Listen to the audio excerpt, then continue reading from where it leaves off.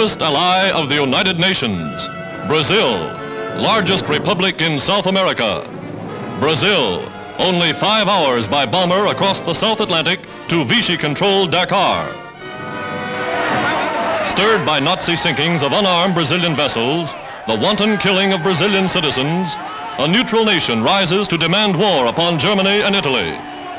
Massing before the Chamber of Deputies, an aroused people hear patriots declare that this assault upon Brazil's honor shall not go unchallenged.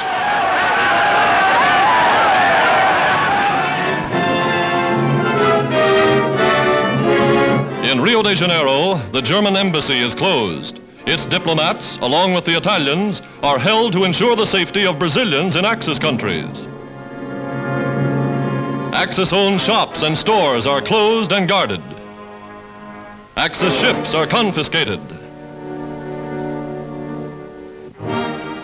Today, the friendship founded between President Roosevelt and Brazil's President Vargas becomes a military alliance. The solemn pact signed by these two American nations weld them more closely now than ever before. And under the terms of Lend-Lease agreements, United States ships rush arms and supplies to their southern ally.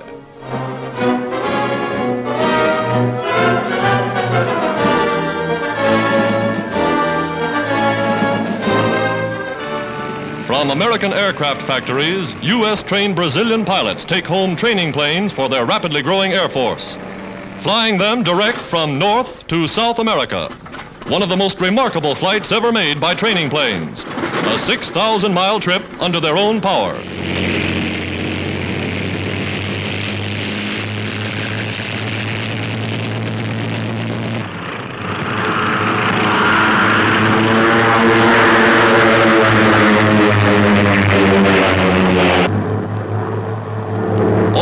An air-minded nation, Brazil is proud of her 600 new landing fields and aerodromes.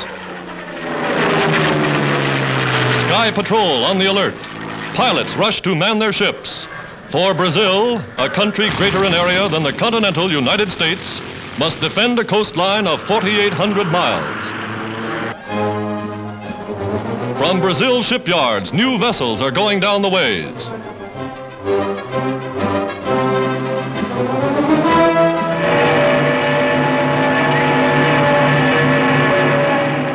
President Vargas promised Brazil will defend her waters, will man her coasts. The Brazilian Navy puts to sea, her efficient fighting force now joining United States and Allied warships on anti-submarine patrol.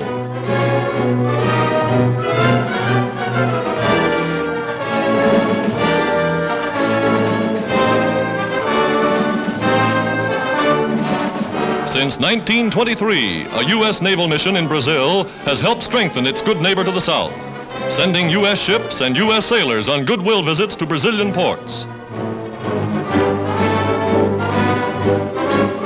Now, with Brazil at war, ships of all the United Nations may base in her harbors.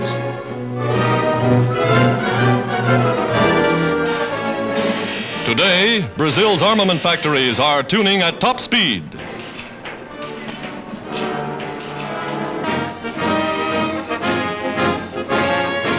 Her armed forces are on the march.